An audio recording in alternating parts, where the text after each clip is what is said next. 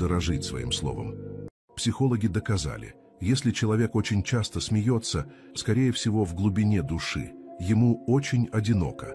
Если человек часто агрессирует, значит у него сильная душевная боль, которую он скрывает внутри себя.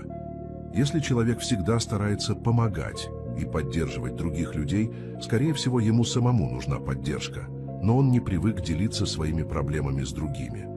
Если человек очень много спит, значит он подавлен ментально. Если человек постоянно пытается выделиться, скорее всего в прошлом его мало любили и не оказывали должного внимания. Если человек мало говорит, находясь в большой компании людей, скорее всего он силен ментально. Он знает, что умный человек больше слушает и меньше говорит. Поэтому дорожить своим словом.